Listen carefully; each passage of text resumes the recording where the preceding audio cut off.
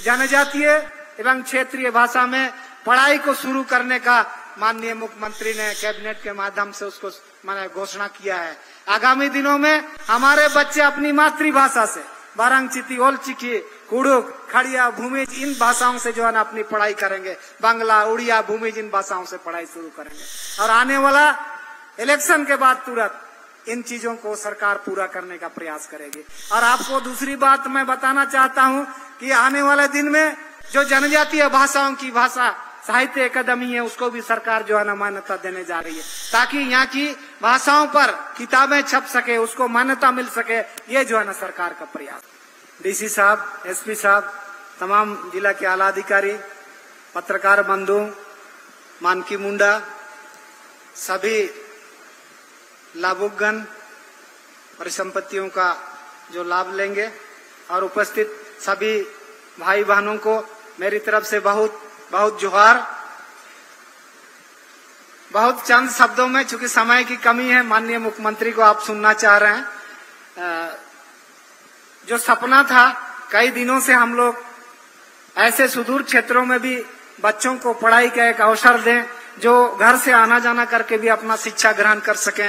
ये पूर्व के माननीय मुख्यमंत्री हेमंत सोरेन जी के समय से हम लोग प्रयास कर रहे थे, लेकिन माननीय चंपा सोरेन जी के समय में इसको हम लोग पूरा करने जा रहे हैं, जिसमें बंदगांव हाटगमरिया जैसे जगहों पर मॉडल डिग्री कॉलेज की स्थापना होनी है, जिसको हम लोग आज यहाँ से माननीय मुख्यमंत्री जी ने शिलान्यास किया है।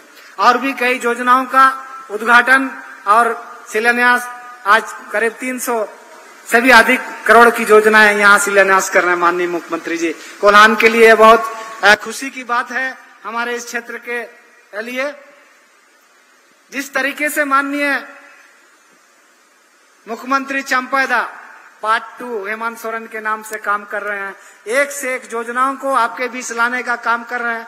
समय की कमी है, लेकिन जिस तरीके से एक बहुत महत्वपूर्ण बात आपको मैं बताना चाहता हूँ जनजातीय एवं क्षेत्रीय भाषा में पढ़ाई को शुरू करने का माननीय मुख्यमंत्री ने कैबिनेट के माध्यम से उसको मैंने घोषणा किया है।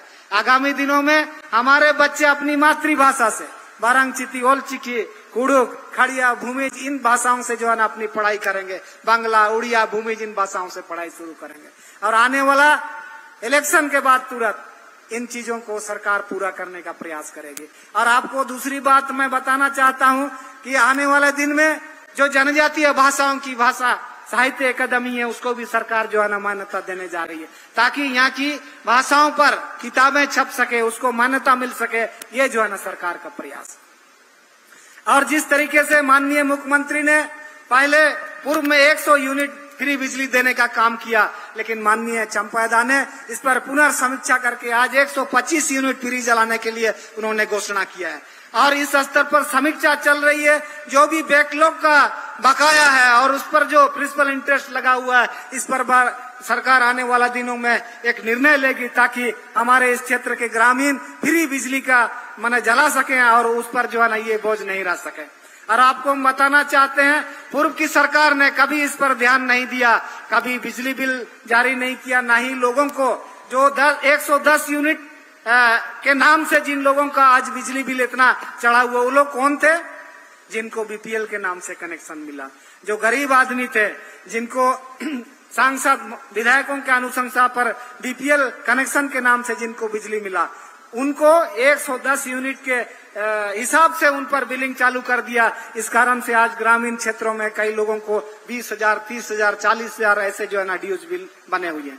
सरकार ने इसको शुरू किया ओटीपी योजना ला करके, लेकिन इसका लाभ नहीं ले सके चूँकि उनकी आर्थिक स्थिति ऐसी नहीं है। इसीलिए हमारी सरकार इसे प्राथमिकता से लेगी और इन चीज़ों का समाधान करने का प्रयास किया इसी दिशा में माननीय मुख्यमंत्री जी ने 125 यूनिट फ्री बिजली जलाने का घोषणा किया है।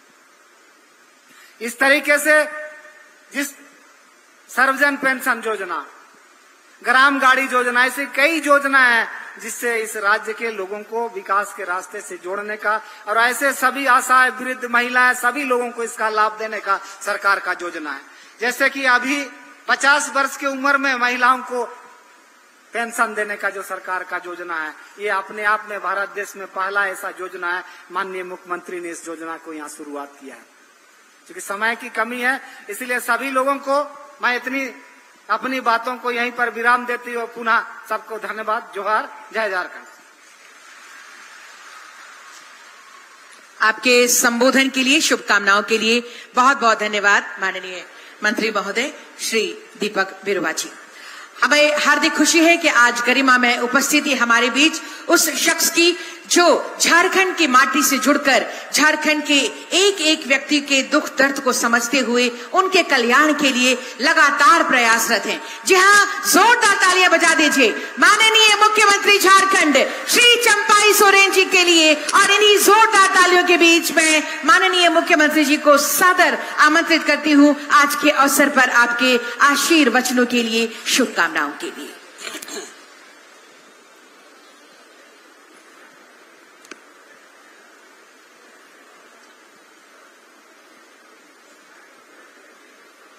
आज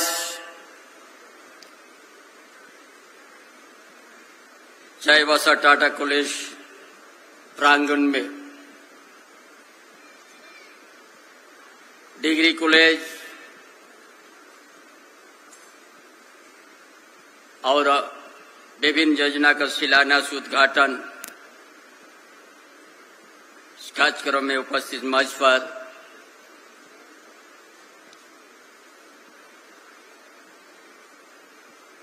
हमारे मंत्री दीपक बरुआ जी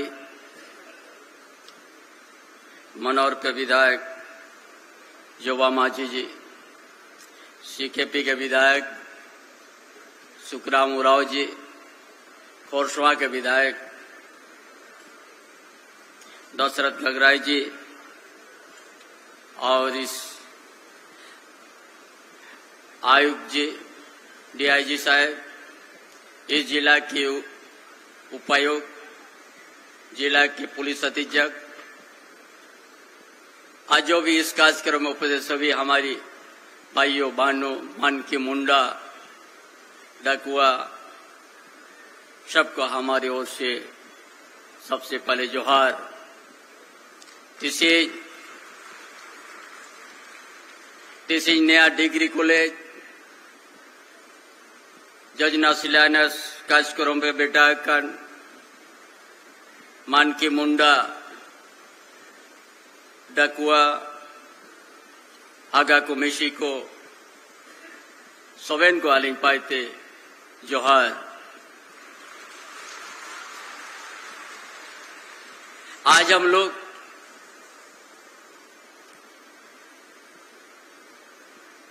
झारखंड में आज़ाद होके सतहत्तर साल और झारखंड अलग राज होके हम लोग का 26 साल से आगे हो रहा है।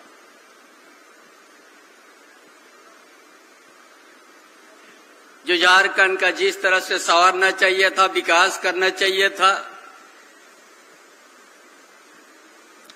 राज अलग होने के साथ ही ये भाजपा का नेतृत्व में चल गया है।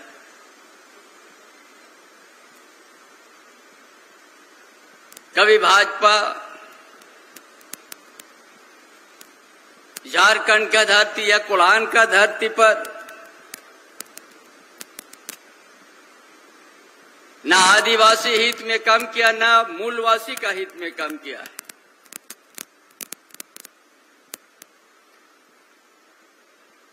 आदिवासी का तो दुखी कर दिया था। पिछले डबल इंजन का सरकार